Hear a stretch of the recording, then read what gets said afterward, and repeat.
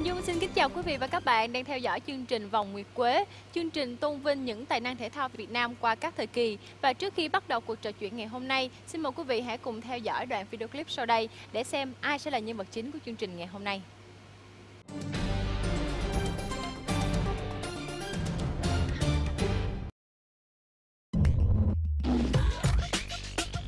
Nhắc đến bóng truyền nữ Việt Nam, phần đông khán giả sẽ nhớ đến một cái tên đang sở hữu nhiều kỷ lục vô tiền khoáng hậu nhất trong lịch sử của bóng truyền Việt Nam.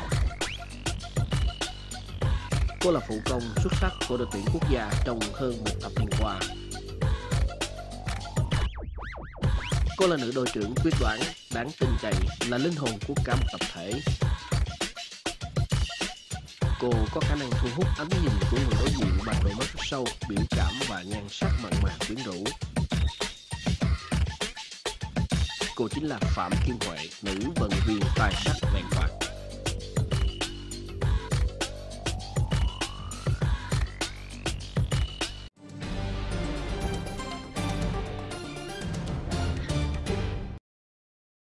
Vâng, xin được giới thiệu đến quý vị và các bạn nhân vật chính sẽ cùng trò chuyện với chúng ta ngày hôm nay. Đó chính là vận động viên bóng truyền Phạm Thị Kim Huệ. Xin chào chị Huệ ạ. Xin chào Hạnh Dung. À, xin chào tất cả các quý vị và ừ, khán giả đang xem trên uh, truyền hình. À, ngồi trước ngồi trực diện với chị thì Hành Dung cảm thấy rất là ganh tị với nhan sắc của chị. À, chị rất là đẹp, đẹp về à, nét mặt, đẹp về hình thể, rồi chị đẹp ngay cả trên sàn đấu và cả tính cách của mình nữa. À, chắc là bạn hơi quá lời về mình. Anh Mình nghĩ cảm là thấy chắc mình cũng không bình- quá lời đâu bởi vì à, chắc là chị cũng đã nhận được nhiều lời khen giống như vậy rồi đúng không ạ? Thực ra thì uh, Huệ nghĩ rằng là chắc mọi người dành cái ưu ái hơi quá đối với Huệ. Còn Huệ cảm thấy Huệ cũng bình thường thôi. Ừ. Thường á, thì sẽ có hai tiếp người. Một á, là họ thích nghe những cái lời khen bởi vì đó là những có thể là những cái động lực để mà họ có thể phấn đấu tốt hơn. Hai là những người người ta thích được chê bai, thích được góp ý thẳng thắn hơn để họ biết đâu mà họ sửa sai. Thì chị thuộc tiếp người nào? Thực ra thì ờ, với Huệ, Huệ luôn luôn lắng nghe những cái lời góp ý đó. Và những cái lời đấy đối với Huệ là một cái động lực để Huệ hoàn thiện bản thân hơn. Ừ.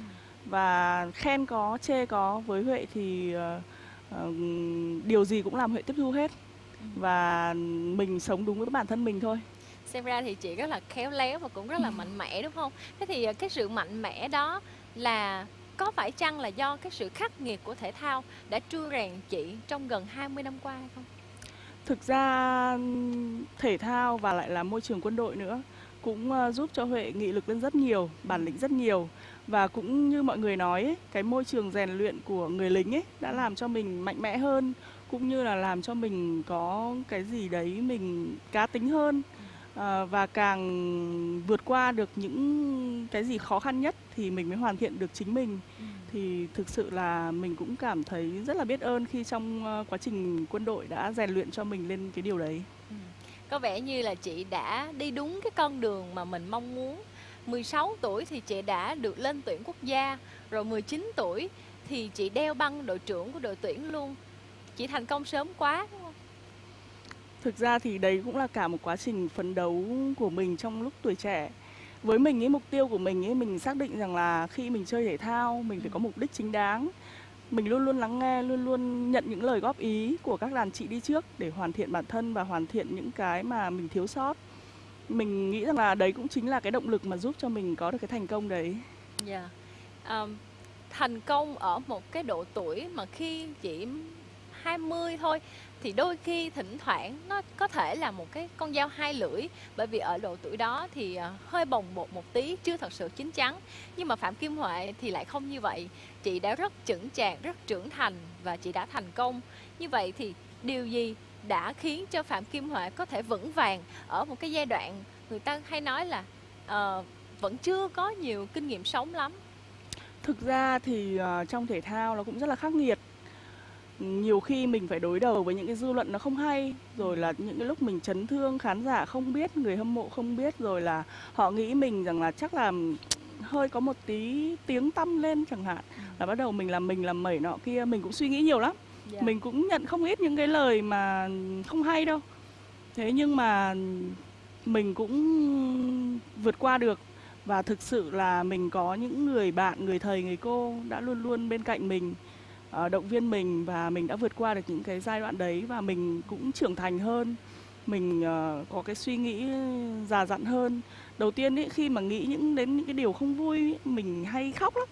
Xong về sau thì cũng có những người cô người bạn mà thực sự là tri kỷ của mình cũng động viên mình rất nhiều và mình vượt qua được giai đoạn đó và mình làm cho mình mạnh mẽ hơn và làm cho mình tự tin hơn để vượt qua những cái điều mà không hay đấy chị nói là chị hay khóc cái thời thời điểm đó chị hay khóc vậy thì điều gì làm cho chị khóc Ừ, điều làm mình khóc ấy là thực sự là mình còn quá trẻ khi mà mình mình mới bắt đầu chập chững được bước vào cái đội hình thi đấu của đội nhà rồi cũng như là cái đội hình của đội tuyển. Yeah. Dạ. Thành ra là cái sự non nớt về chuyên môn cũng như là là là là giới chuyên môn người ta đánh giá mình ấy thì tất nhiên là cái điều đấy là điều không thể tránh khỏi. Nhưng mà có những cái dư luận ác ý cũng nói rằng là kiểu là hay là sao rồi là ừ. chảnh rồi là tự bằng lòng với bản thân rồi. Ừ. Thành ra là mình cũng suy nghĩ mà mặc dù mình không phải vậy mình muốn lắm mình phấn đấu mình muốn là đánh tốt hơn nhưng mà có những lúc kiểu nó chấn thương hay là nó nó nó mệt mỏi quá mình không thực sự khắc phục được mà thậm chí là có những lúc mình chấn thương nặng ấy mình vẫn phải cố thi đấu khán giả không biết người hâm mộ không biết nhưng đến lúc mà mình tháo cái băng chân ra mọi người biết biết rằng là mình chấn thương nặng như thế nào đó nhưng mà mình cũng cũng rất là là là là buồn khi mà người ta không hiểu như thế. Thành ra là nhiều khi người ta dùng những lời lẽ không hay thành ra mình hay hay suy nghĩ và hay khóc. Ừ. nhưng mà những giọt nước mắt đó là có thể là làm cho chị trưởng thành hơn và chững chạc hơn đúng không? Thực ra chính vì hay khóc một mình thành ra mình cảm thấy mình mạnh mẽ hơn. Ừ. anh dung cũng thấy chị rất là mạnh mẽ rất là bản lĩnh. Và một người phụ nữ mà bản lĩnh như vậy thì rất là hiếm và đó cũng là một trong những cái yếu tố mà có thể làm nên cái thành công cũng như là cái phong độ rất là vững chắc của Phạm Kim Huệ và lúc này thì có lẽ là lúc mà thích hợp nhất để chúng ta có thể cùng nhìn lại con đường thành danh của vận động viên bóng truyền Phạm Kim Huệ.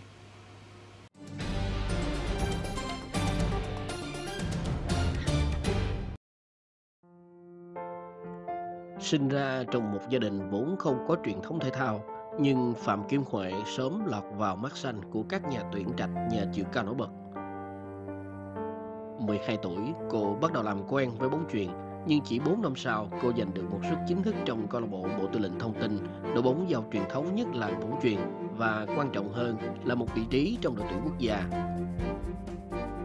Khi bước sang tuổi 19, tài năng và tính cách mạnh mẽ giúp cô nhận được sự tin tưởng của ban huấn luyện để đảm nhận chiếc bằng đội trưởng tuyển quốc gia. Ở thời điểm đó, sự xuất hiện của Phạm Kim Huệ ở vị trí phụ công đã tạo nên một cơn dư chấn không nhỏ.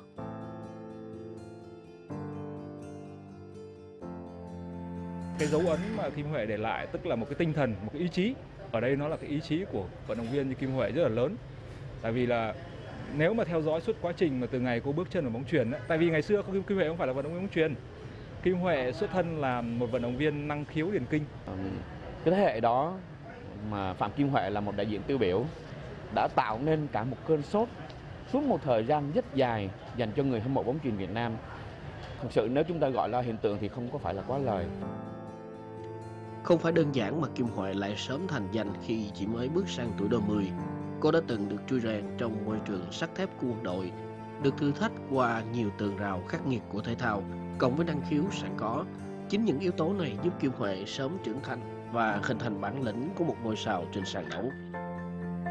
Cô luôn là một ngôi sao rất lớn thu hút khán giả vì cái tài năng, vì cái sắc đẹp của cô về tài năng, về cả những đóng góp của cô trong bóng truyền của Bộ Tư lệnh Thông tin và của bóng truyền Việt Nam. Không phải là Kim Huệ khó tính, khó gần mà tại vì Kim Huệ muốn không muốn ảnh hưởng mọi cái sự xung quanh tác động ngoại cảnh nó ảnh hưởng tới sự nghiệp của mình và đấy là lý do mà cô gần như là có một cái giai đoạn mà báo chí, giới truyền thông nói là cô thu mình, thu hẹp mình lại, không liên, không quan hệ, không liên hệ với ai hết. Nhưng mà nếu mà tiếp cận gần Kim Huệ, chơi với Kim Huệ nhiều và hiểu cô, thì cô thực ra là một người dễ gần. Và luôn luôn có cái ý thức chuyên nghiệp.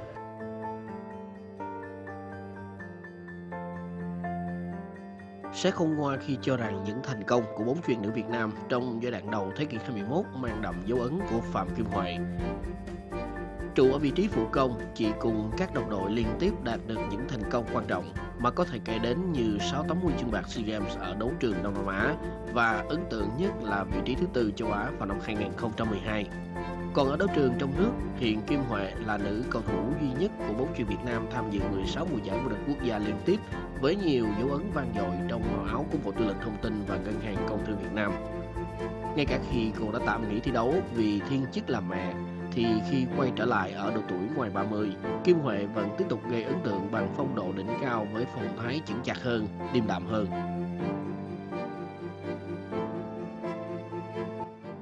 Cái sự xuất hiện của Kim Huệ thời điểm đấy ấy, nó giúp bóng chuyển nữ Việt Nam nó ghim lại, nó tạo nên một cái thế cân bằng rõ ràng và cái sự đóng góp của Kim Huệ đối với đội tuyển bóng chuyền nữ Việt Nam, bóng chuyền nữ Việt Nam nói chung luôn. Nó với với ra đời nhiều sau đấy nhiều câu lạc bộ bắt đầu đào tạo cái cái cái lực lượng mà vận động viên mà bắt đầu chơi những cái mũi đánh nhanh Không chỉ tạo dấu ấn bằng tài năng thực sự, nữ đội trưởng Phạm Kim Huệ còn sở hữu gương mặt đẹp sắc sảo, thu hút mọi ánh nhìn. Khán giả hâm mộ vẫn quen miệng gọi chị là hoa khôi của bóng chuyền Việt Nam, còn bạn bè trong giới gọi chị là Miss bóng chuyền bởi chị đang sở hữu một kỷ lục khác là ba lần đoạt giải Miss tại các giải quốc tế. Tài năng, bản lĩnh, đức độ và xinh đẹp. Đó là những mỹ từ mà người ta vẫn thường dành cho nữ đội trưởng tài hoa.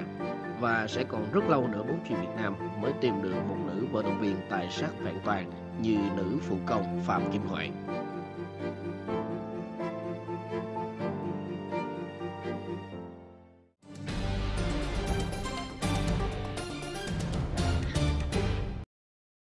Ừ, chị có thể chia sẻ một chút về cái thành tích tốt nhất trong sự nghiệp của chị cũng như là của bóng chuyền Việt Nam luôn. Đó là cái vị trí thứ tư ở châu Á. Ờ, mình tham gia thể thao tính đến thời điểm này cũng ờ, gần 18 năm và cái điều mà mình cảm thấy rất là tự hào khi ờ, cống hiến cho thể thao nước nhà cũng như môn bóng chuyền nói riêng ấy là cái thành tích mình đứng thứ tư ở giải vô địch châu Á năm 2013 và cả quá trình sự nghiệp của mình thì đấy là cái thành tích mà mình rất là mơ và mình đã đạt được. Và trong khi đấy là kèm theo là 6 năm liên tiếp mình đạt huy chương bạc ở SEA Games và đấy cũng là cái điều tự hào của mỗi một vận động viên khi mà được ừ, tham gia ra đấu trường quốc tế. Nhưng mà tôi muốn hỏi là cái vị trí thứ tư ở châu Á đó thì có nằm cái trong cái dự tính hay là những cái kế hoạch của đội tuyển của mình hay không? Và có phải là một cái vị trí mà chị đã mơ ước trong sự nghiệp của mình? Thực ra cái vị trí thứ tư đấy đúng là cái ờ, giải mà cả đội tuyển Việt Nam cũng lẫn như là bản thân Huệ không bao giờ nghĩ tới. Ừ. Huệ không nghĩ rằng là sẽ vượt qua được đội tuyển của Nhật, đội tuyển của Hàn để giành được cái vị trí đó. Ừ. Nhưng mà cái năm 2013 đấy Huệ cảm thấy đội tuyển mình đánh rất là hay, Ừ. rất là gắn kết và rất là sung sức. Và cảm giác như có một cái động lực gì đấy nó làm làm cho đội tuyển mình rất là gắn kết ấy. Ừ. Và thực sự là cái thứ hạng thứ tư đấy đến tất cả các lãnh đạo trong ờ, giới bóng chuyền cũng phải ngạc nhiên và cũng phải phải phải đáng khen cho đội tuyển bóng chuyền Việt Nam Ừ. và cái điều đấy là điều Huệ rất là vui và tự hào về điều Ừ. đấy. À, chị cũng nói là cái thời điểm mà chị cùng với đội đạt cái vị trí thứ tư ở châu Á đó là năm 2013 tức là ở thời điểm đó chị cũng đã ngoài 30 rồi tức là ở cái độ tuổi người ta gọi là bên kia sườn dốc của sự nghiệp đó nhưng mà chị vẫn tỏa sáng và vẫn có phong độ tốt vẫn nhận được sự tin tưởng của ban huấn luyện và thậm chí mới đây nhất là một câu lạc bộ ở Thái Lan đã mời chị sang thi đấu bởi vì phong độ rất là tốt của chị. Chị đã làm điều đó như thế nào? Thực ra cái động lực mà để cho mình gắn bó với bóng chuyền đến bây giờ là cái động lực chính là mình gia đình rất là ủng hộ mình. Và bản thân khi gia đình đã ủng hộ mình rồi thì mình rất là yên tâm về chuyện đấy và mình dồn hết sức lực cũng như là tâm trí để cho cái cái cái nghề mà mình yêu thích. Và đấy cũng chính là cái động lực mà khiến cho mình có thể thi đấu được đến ngày hôm nay. Và mình cảm thấy rất là tự hào về gia đình của mình. nhưng mà là một vận động viên đỉnh cao thì thành công nó cũng đồng nghĩa với là áp lực. Mà chị lại là một đội trưởng thì cái áp lực đó nó lại càng nặng nề hơn. Nhất là khi mà bóng chuyền Việt Nam của chúng ta trong mấy chục năm vừa qua thì là cứ núp sau cái bóng của đội tuyển Thái Lan mà chưa hề có một cái huy chương vàng nào ở SEA Games cả. Như vậy thì cứ thua liên tục trước cùng một đối thủ như vậy, chắc hẳn là cũng khó chịu và cũng áp lực lắm, đúng không? Thực ra áp lực và cái mong muốn vượt qua được đội tuyển Thái Lan thì không riêng gì cá nhân Huệ cũng như đội tuyển và cũng như là tất cả các lãnh đạo của môn bóng chuyền. Ai cũng đều mong muốn cái chiến thắng là mình sẽ vượt qua Thái Lan. Nhưng để mà nói về mặt kỹ thuật chuyên môn của họ cũng như là cái đầu tư về cái môn bóng chuyền của họ họ rất là tốt rất là bài bản họ họ họ tuyển sinh những cái em còn rất bé rất trẻ ở các trường trung học thôi ừ. chứ chưa cần nói là đại học đấy họ có bài bản hẳn hoi họ đi theo là từ coi như là từ cái lúc mà học sinh ấy, chứ ừ. không phải là là là sinh viên nữa yeah. Dạ. mà cái điều đấy thì mình vẫn chưa thể theo kịp được họ ừ. Còn khi mà bóng chuyền Việt Nam mình tuyển các em là thường thường là các em là bắt đầu là vào cấp 2 rồi yeah. Dạ. cái uh, chiều cao cũng như cái lứa tuổi nó hạn chế hơn là là là cái tuyển sinh của họ đấy rồi là cái đội tuyển của Thái Lan là họ được ăn tập cùng với nhau như một đội câu lạc bộ ừ. trong khi đó đội tuyển của mình thì uh, thi đấu quanh năm suốt tháng ở các câu lạc bộ và chỉ khi Lào có các cái giải quốc tế thì mình mới được tập trung trước 1 đến 2 tháng thành ra cái sự nhuần nhuyễn ăn ý rồi cũng như là cái sự phối hợp với nhau ấy không thể nào mà bằng được cái câu lạc bộ của đội tuyển của Thái Lan là vì như thế.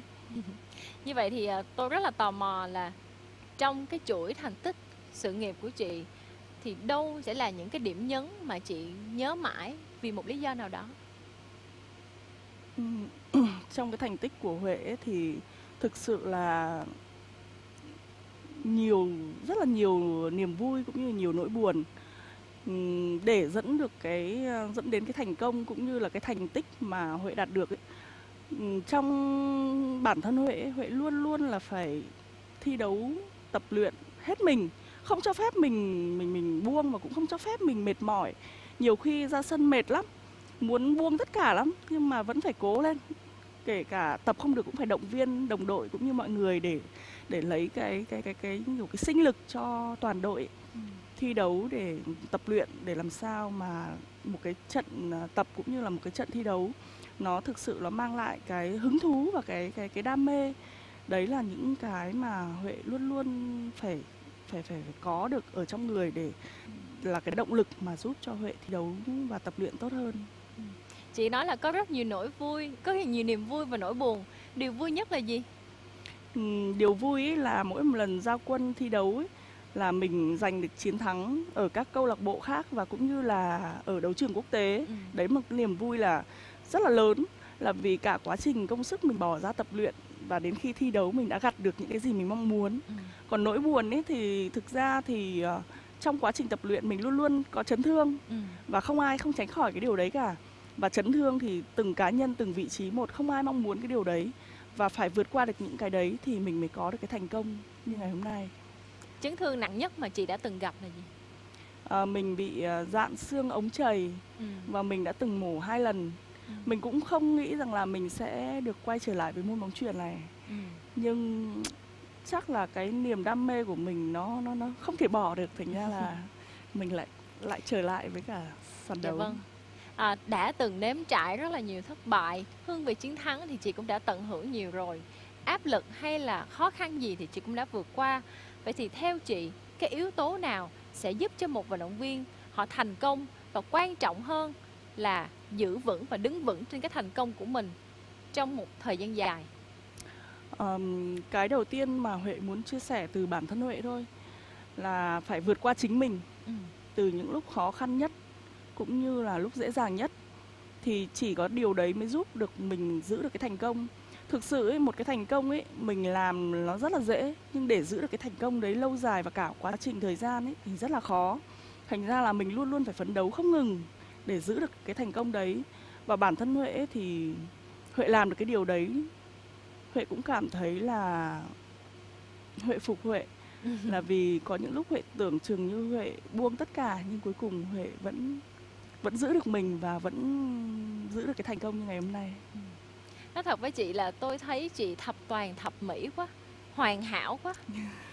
Nhưng mà với riêng chị chắc chắn là bản thân chị cũng phải có khiếm khuyết gì đó đúng không? Về mặt chuyên môn trước đi. Khiếm khuyết thì uh, về mặt chuyên môn ấy thì thực sự là là là cũng để mà đỉnh cao trong cái thời kỳ đỉnh cao ấy thì uh, những cái điều mà mình mong ước chiến thắng ở các giải quốc tế thì mình cũng chưa có được các cái chiến thắng đấy. Thành ra là mình tập luyện mình mình mình mình cũng cảm giác như là mình nản ấy. Ừ. mình đi thi đấu mình phải mong có những cái thứ hạng cao hơn ở ở đấu trường quốc tế. Mà mình mình cùng lứa với cả các đấu trường quốc tế và cùng lứa với cả các bạn um, quốc tế yeah. Dạ. mà tại sao họ vươn ra tầm thế giới mà mình vẫn mãi chỉ ở trong cái sea games thôi thành ra là cái điều đấy là huệ cũng cảm thấy là mình thua kém bạn bè quốc tế ở cái điểm đấy ừ. mà phấn đấu mãi phấn đấu như thế nào đi chăng nữa thì đến bây giờ thì cũng sắp hết sự nghiệp thể thao rồi mà cũng không bằng được thành ra là cũng cũng cũng cũng nghĩ hơi nghĩ về cái vấn đề đấy lắm ừ. thế thì còn trong cuộc sống đời thường thì sao người phụ nữ phạm kim huệ còn điều gì cần phải cải thiện trong cuộc sống thì huệ cảm thấy uh, huệ chưa thực sự là một người phụ nữ của gia đình ừ. vì uh, vì công việc thành ra là gia đình ủng hộ huệ quá nhiều thành ra huệ không có thời gian chăm sóc cho gia đình không có thời gian chăm con rồi là nhiều khi uh, nghĩ một năm có 12 tháng thôi uh, giải thi đấu thậm chí sang đến tận tháng 1 của năm sau nghĩa là là đi luôn 13 tháng tất cả. Thành ra là huệ cảm thấy đấy là một điều rất là thiệt thòi mà gia đình huệ ừ. trông mong ở huệ. Và huệ rất là là là suy nghĩ khi mà chưa làm chọn cái uh, cái cái trách nhiệm của người vợ người mẹ với cả gia đình. Nhưng mà trong cái cuộc trò chuyện của chị với tôi thì tôi cảm thấy là cứ mỗi khi nhắc đến gia đình là ánh mắt chị lại sáng lên. Có lẽ như là đối với những người phụ nữ như chúng ta chẳng hạn thì gia đình và con cái là cái hạnh phúc lớn nhất trong cuộc đời của mình. À, và có lẽ lúc này thì hạnh dung à, xin mời à, quý vị khán giả chúng ta hãy cùng à, gặp gỡ mẹ con của phạm kim huệ trong một buổi chiều cuối tuần rất là bình dị và hạnh phúc.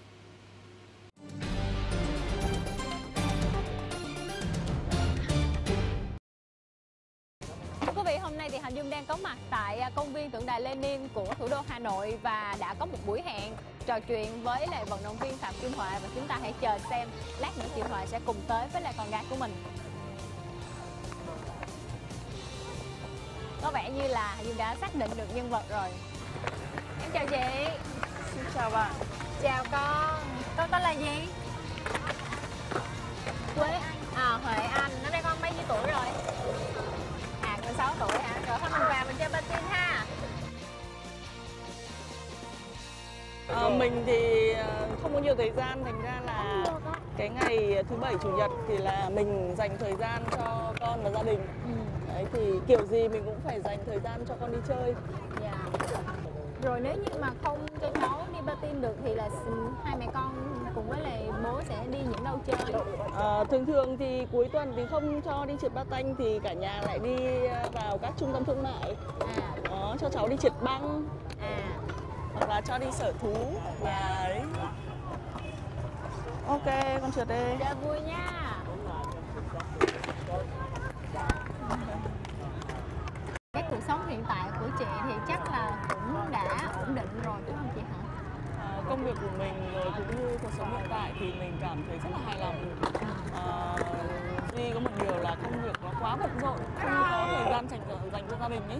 Thành ra là mình rất mong những cái thời gian ờ, mình được nghỉ rảnh rỗi thì mình ờ, được cho con đi chơi rồi gia đình đi đây đó để thay đổi không khí. Người trong giới thì người ta nói là cái quyết định của chị về đổi đơn vị để về thi đấu cho ngân hàng công thương là một quyết định rất là lạ và đôi lúc thì hơi khó hiểu.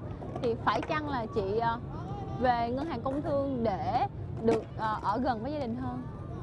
Ừ, thực ra thì khi quyết định thay đổi về ngân hàng công thương thì đấy cũng là một quyết định nó dẫn đến bước ngoặt lớn của mình tại vì ờ, mình gắn bó ở bên quân đội rất là lâu rồi, cũng nhiều kỷ niệm. Thế nhưng tại vì sao mà mình quyết định ờ, rời quân đội để ra ngoài ờ, để cho tiện công việc kinh doanh cũng như là tiện cái chăm sóc gia đình, thì mình muốn là cái thời gian dành cho gia đình nhiều hơn. Như vậy thì vừa chăm con, vừa lo cho việc gia đình, rồi vẫn tiếp tục đi tập, đi thi đấu nữa, thì cái công việc của mình nó cái thời gian quỹ thời gian của mình chị có uh, thu xếp tốt hay không và có khi nào chị cảm thấy áp lực hơn so với cái thời gian mình thi đấu không? Ờ, thực ra khi mà lập gia đình ấy thì mình cũng nghĩ đến cái điều đấy thế nhưng mà mình cũng cảm thấy ờ, rất là hạnh phúc và tự hào khi mà gia đình nhà chồng rất là tuyệt vời. Bố mẹ chồng rất là động viên công việc của mình rất là ủng hộ. Và bản thân ông xã là cũng là người mà luôn luôn sát cánh với mình chăm sóc con cái để cho mình yên tâm công tác tập luyện cũng như là đi thi đấu. Đấy cái điều đấy là điều mình rất biết ơn chồng cũng như gia đình nhà chồng. Có vẻ như chị rất tự hào về chồng của mình đúng không? Chị nói một tí về ông xã của mình thực ra thì ờ, chồng của mình cũng ờ, vẫn còn trẻ. Và anh làm của công việc là không cố định giờ giấc thành ra là cũng ờ, hơi khó khăn ừ. nhưng mà hai người đến với nhau như thế nào khi mà à, anh là người không phải là người theo nghiệp thể thao thực ra bọn mình đến với nhau cũng tình cờ lắm cũng chỉ là quen nhau trên một quán bar xong rồi là thời gian dần dần là cảm thấy là hai người có tiếng nói chung và có cái sự ờ, đồng cảm chia sẻ rồi cũng là anh nhà mình thì cũng rất là sống nội tâm đấy và mình cũng cảm thấy là, là, là có một cái gì đấy có sức hút và luôn quan tâm lo lắng đến người khác. Và cái điều đấy là điều mình rất cần ở người đàn ông thực ra thì ngay lúc mình đến với xã nhà mình thì lúc đấy là mới chỉ là góc độ bạn bè thôi. Đấy thế thì uh, cũng uh, thời gian thời gian mà ông xã mình đến với mình ấy trong cái lúc mình buồn ấy uh, cũng có một cái gì đấy để cho mình là chỗ dựa. Và cũng là cái mà để cho mình tin cậy và mình chia sẻ khi mà đến với nhau và có cuộc sống hiện tại như bây giờ thì mình cảm thấy là cái ờ, quyết định của mình là hoàn toàn đúng đắn. Nói thật sự là mình phải tự bằng lòng với cuộc sống của mình. Như thế nào là đủ và như thế nào là chưa đủ. Mình cảm thấy nó vừa đủ với mình. Mình không mong nó nó nó, nó cao sang như nào cả. Mình cần cuộc sống rất là bình dị và nói chung là hạnh phúc được ấm à, mình nói một tí về cái cô con gái của chị đi bé ờ, Huệ Anh một, một cô gái có tính cách cô bé có tính cách như thế nào? Thực ra con mình rất là cá tính. Ừ. à, cháu rất là tự lập cháu tự lập từ bé thành ra là đến khi mà cháu đi học rồi ấy, thì uh, vào lớp 1 cháu học rồi các cái bài tập về nhà các thứ. Cháu không để bố mẹ phải nhắc nhở đâu. Ừ. thời khóa biểu là cháu tự soạn tự tự làm bài tập rồi là các thứ và mình cũng tự hào một điều rằng là con mình vừa được nhận một cái học bổng ở trường Chu Văn An thế thì à, chị à, giả sử như con chị nó có một niềm đam mê thể thao một ước mơ là vận động viên như chị thì liệu là chị có sẽ ủng hộ thực ra thì uh, bây giờ chưa nói lên điều gì cả nhưng mà hiện tại mình vẫn luôn ủng hộ con mình uh, chơi bất cứ một môn thể thao hay là môn nghệ thuật nào đấy. Và hiện tại là cháu ở lớp cháu uh, đang là một trong uh, uh, nhóm múa của trường. Ừ. và hiện tại cái môn múa cháu cũng rất là đam mê. Thì mình cũng luôn động viên cháu và mong muốn là cháu uh, đi theo cái cái cái sở thích của cháu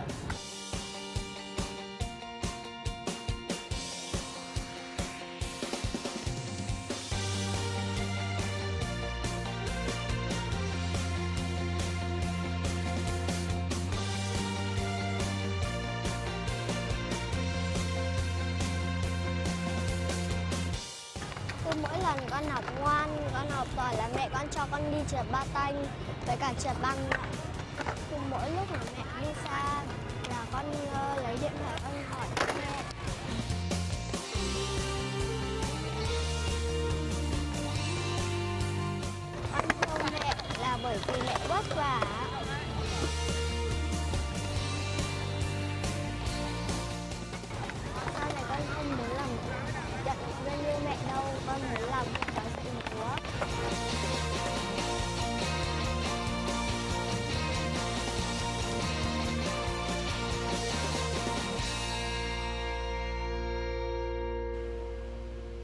chị nghĩ sao khi mà nghe con chị nói là cháu sẽ không theo nghiệp thể thao giống mẹ nói chung đấy cũng là một điều đáng mừng thực sự tôi luôn ủng hộ những cái à, gì mà cháu mong muốn và sở thích của cháu ừ.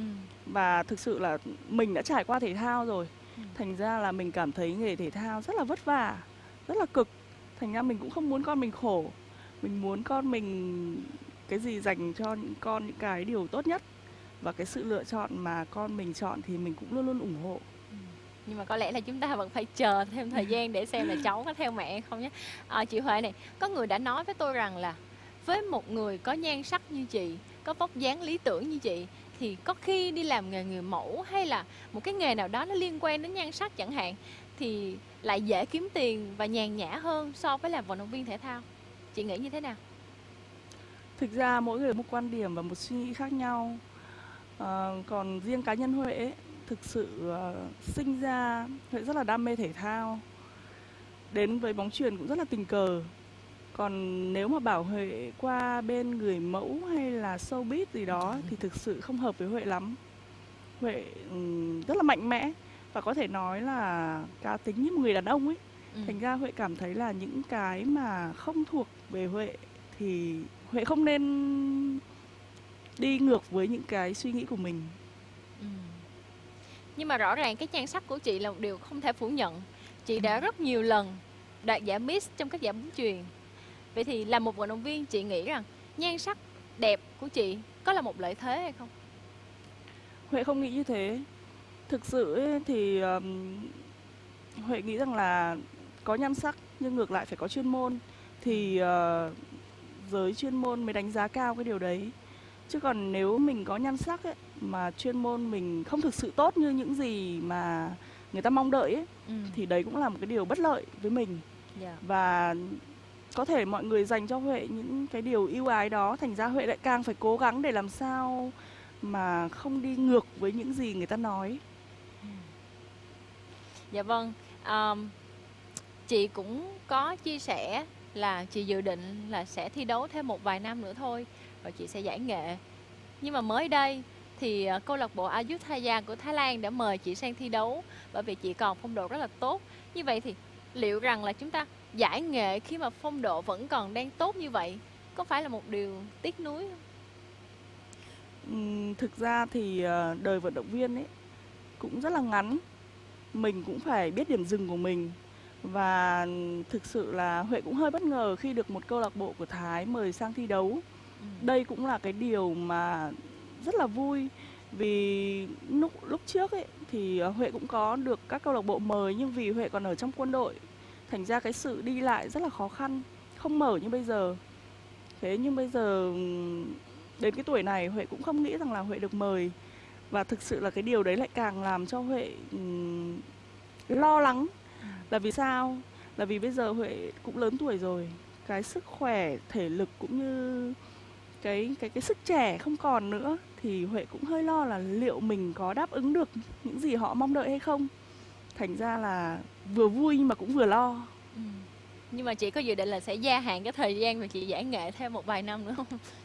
thực ra thì ờ, cái điều đấy thì Huệ cũng chưa nói trước được nhưng mà ai rồi cũng phải tìm đến một bến đỗ Ừ. và bến đỗ đây là bến đỗ gia đình và Huệ cũng nghĩ rằng là Huệ cũng sẽ cần thời thời điểm thích hợp để để dừng.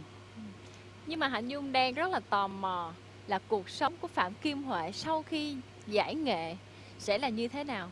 Chị vẫn tiếp tục theo đuổi nghiệp thể thao chứ? Cái đấy thì ờm, Huệ cũng chưa nói trước được. Nhưng mà hiện tại thì Huệ cũng đã học xong cái bằng thể dục thể thao. Và hiện tại bây giờ Huệ đang học một cái bằng ngân hàng nữa. Thì ờ, nếu như sau này không còn thi đấu được nữa lãnh đạo đội cũng như ban huấn luyện mà mong muốn Huệ ờ, tiếp tục ờ, huấn luyện thì ờ, Huệ sẽ huấn luyện. Còn nếu như mà cái vị trí đấy đông và đầy đủ rồi thì có thể là Huệ sẽ chuyển ra đi làm hay như thế nào đấy thì tùy thuộc vào sự sắp xếp của lãnh đạo. Dạ vâng, cho dù chị có chọn con đường nào đi nữa thì bản thân Hạnh Dung cũng như là quý vị khán giả hâm mộ chị cũng rất là mong chị sẽ có được một cuộc sống hạnh phúc và đúng như những gì mà chị mong ước. Và một lần nữa thì xin cảm ơn chị đã cùng tham gia chương trình vòng nguyệt quế ngày hôm nay và xin chúc cho chị cuộc sống sẽ cứ mãi hạnh phúc như thế này và sẽ đạt được những gì mà chị mong muốn. Xin cảm ơn Hạnh Dung và xin cảm ơn chương trình Vâng thưa quý vị, đến đây thì chương trình Vòng Nguyệt Quế của Đài truyền hình Thành phố Hồ Chí Minh xin được phép kết thúc. Cảm ơn quý vị và các bạn đã quan tâm theo dõi. Xin kính chào tạm biệt và hẹn gặp lại trong chương trình tuần sau.